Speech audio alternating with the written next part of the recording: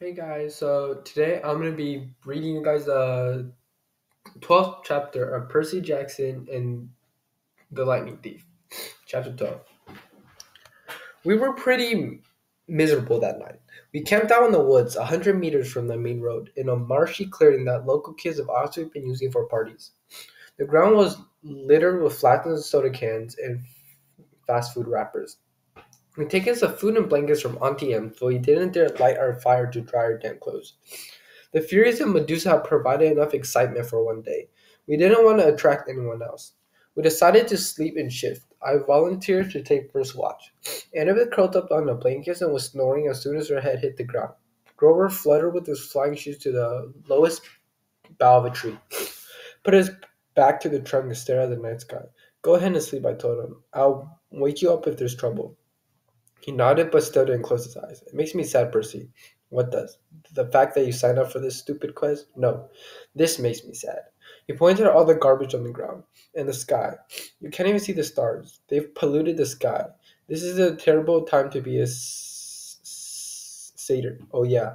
I guess you'd be an, an environmentalist. He glared at me. Only a human wouldn't be. Your species is clogging up the world so fast. Ah, never mind. It's useless to lecture a human. At the rate things are going, I'll never find Pan. Pam? Like the cooking spray? Pan, he cried indignantly. Pan, the great god of Pan.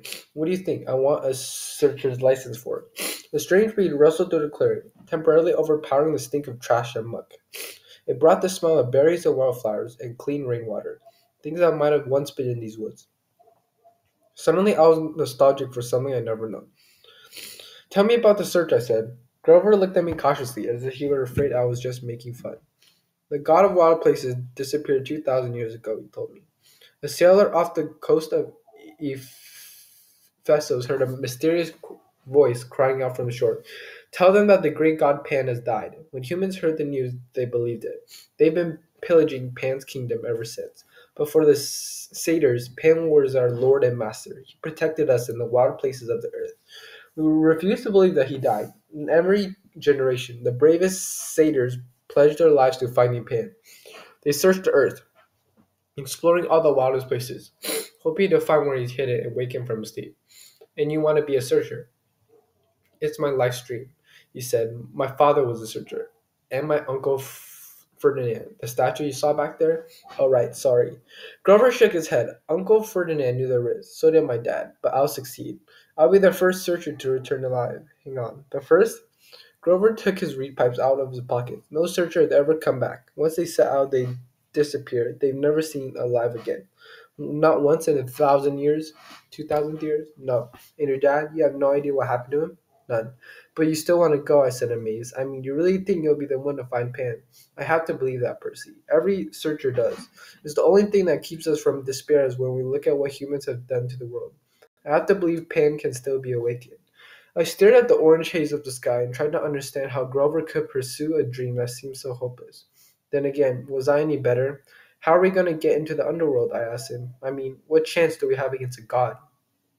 Don't know, he admitted. But back at Medusa's when you were searching her office, Annabeth was telling me, oh, I forgot. Annabeth will have a plan all figured out. Don't be so hard on her, Percy. She's had a tough life, but she's a good person. After all, she forgave me. His voice faltered. What do you mean? I asked. Forgive you for what? Suddenly, Grover seemed very interested in playing notes on his pipes. Wait a minute, I said. Your first keeper job was five years ago. Annabeth has been at camp five years. She wasn't. I mean, your first assignment that went wrong. I can't talk about it, Grover said.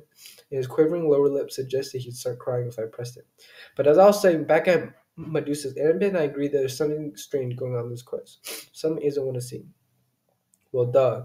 Getting blamed for stealing a thunderbolt that Hades took. That's not what I meant, Grover said. The fear, the kindly ones were sort of holding back, holding back, like Miss Dodds at Yancey Academy. Why did she wait so long to try to kill you? They're on the bus. They just weren't as aggressive as they could have been. They seemed plenty aggressive to me. Grover shook his head. They were screeching at us. Where is it? Where? Asking about me, I said. Maybe. But Annabeth and I, we both got the feeling they weren't asking about a person. They said, Where is it? They seemed to be asking about an object. That doesn't make sense, I know. But if we misunderstood something about this quest, we only have nine days to find the Master Bolt. He looked at me like he was hoping for answers, but I didn't have any. I thought about what Medusa had said. I was being used by the gods. What lay ahead of me was worse than petrification. I hadn't been straight with you. I told Grover, I don't care about the Master Bolt. I agreed to go to the underworld so I could bring back my mother. Grover blew a soft note on his pipes. I know that, Percy, but are you sure that's the only reason? I'm not doing it to help my father. He doesn't care about me. I don't care about him. Grover gazed down from his tree branch. Look, Percy, I'm not as smart as Annabeth. I'm not as brave as you, but I'm pretty good at reading emotions. You're glad your dad is alive. You feel good that he's claimed you, and part of you wants to make him proud. That's why you mailed Medusa's head on to Olympus.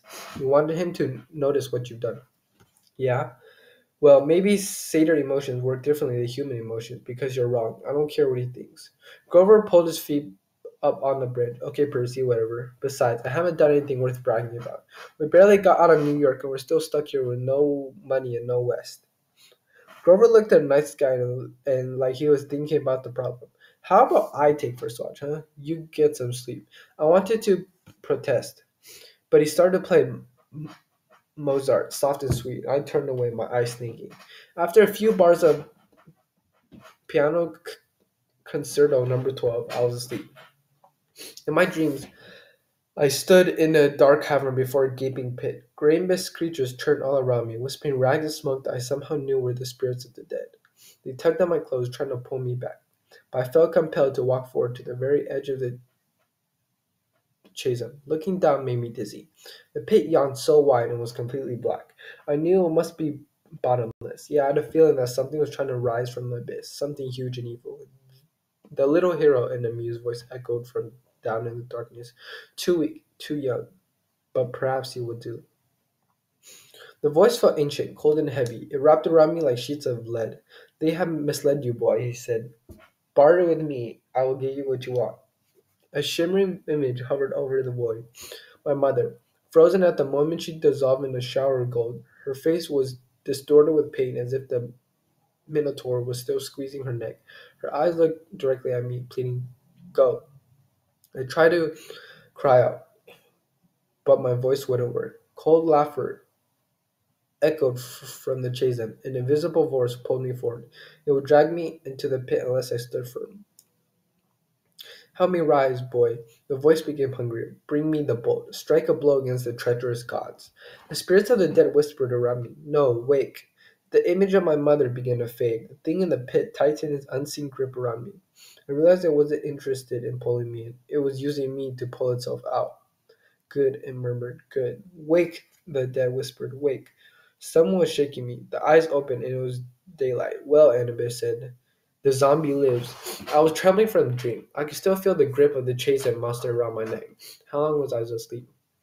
Long enough for me to cook breakfast. And it tossed me a bag of nacho flavored corn chips from Aunty Em snack bars, and Grover went and explored. Look, he found a friend. My eyes had trouble focusing. Grover was sitting cross legged on a blanket with something fuzzy in his lap. A dirty, unnaturally pink stuffed animal. No, it wasn't a pink stuffed animal. It was a pink poodle. The poodle yapped at me suspiciously. Grover said, No, he's not. I blinked. Are you talking to that thing? The poodle growled. This thing, Grover said, is Arctic West. Be nice to him. You can talk to animals? Grover ignored the question. Percy, me, Gladiola. Gladiola, Percy. I stared at Miss Figure. She cracked up at this practical joke they were playing on me, but she looked deadly serious. I'm not saying hello to a pink poodle. I said, forget it. Percy, Annabeth said, I said hello to the poodle. You say hello to the poodle. The poodle growled. I said hello to the poodle. Grover explained that he come across Gladiola in the woods, and they struck up a conversation. The poodle had run away from a rich local family who posted a $200 reward for his return. Gladiola didn't really want to go back to his family, but he was willing if it meant to help Grover. How does Gladiola know about the reward I asked? He reads the signs, Grover said. Duh. Of course I said. Silly me. So we turned to Gladiola, Annabeth explained in her best strategy voice. We get money and we buy tickets to Los Angeles. Simple. I thought about my dream, the whispering voices of the dead, the thing in the chaza and my mother's face, sh- shimmering as it dissolved in the cold. All that might be waiting for me in the west. Not another bus, I said wearily. No, it agreed. She pointed downstairs toward train tracks. I hadn't been seen last night. There's an Amtrak station a half a mile that way. According to Gladiola, the westbound train leaves at noon. So that was Percy Jackson and the Lightning Thief, chapter 12. So this is a summary.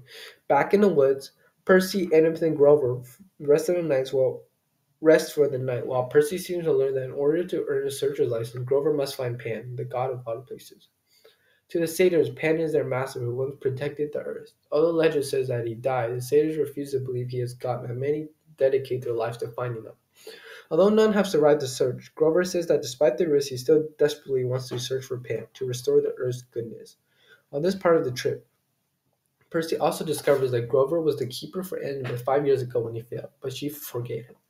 Grover stops Percy from asking more questions about that quest instead of how he and Annabeth think this quest is different because the monsters seem to be holding back from attacking them while they look for something. The next morning, Percy meets Gladiola and Pink Poodle. They collect enough money to buy train tickets by returning Gladiola to his owners. So today, I'm just going to be telling you guys about the different Greek gods because they're going to keep appearing throughout the book, and I just don't want you guys to be confused. So, right now, there are 12 gods. There's obviously Poseidon, which is the dad of Percy, He's also the god of the sea. Hera, who will appear later, um, is the goddess of youth. Zeus, which is obviously like the big, big god, he's the god of lightning. Demeter, the god of wheat. Aphrodite, the goddess of love and beauty.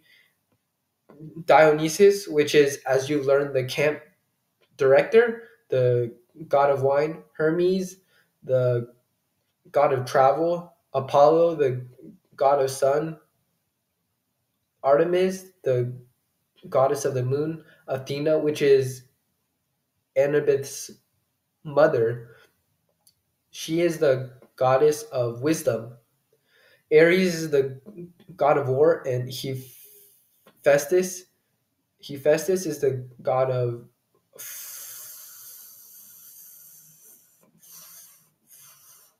Hephaestus is the god of forges. And yeah, that's it for that's it for today, guys. Thank you.